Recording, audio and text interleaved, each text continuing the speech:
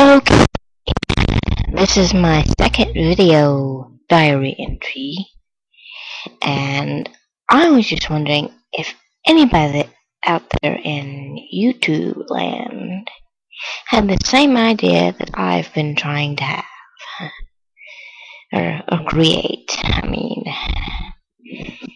I thought of this, uh, I thought of making a video using the song uh, Set the Rain on Fire by Adele and uh, using images from the movie Ghost Rider starring Nicolas Cage.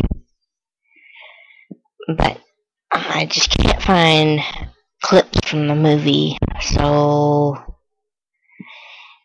uh, if anybody knows of someone that's already done that, let me know. Uh, thank you.